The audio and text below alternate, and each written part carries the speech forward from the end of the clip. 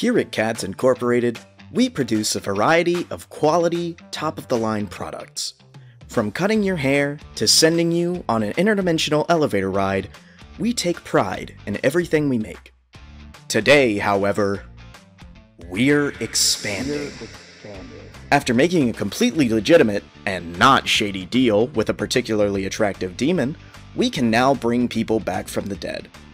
All you have to do is use our Kads Inc. proprietary sacrificial knife to leave a few drops of blood in the special bowl to receive your temporary immortality, while Kads Inc. gets exclusive rights to broadcast this game show across the world, galaxy, and universe.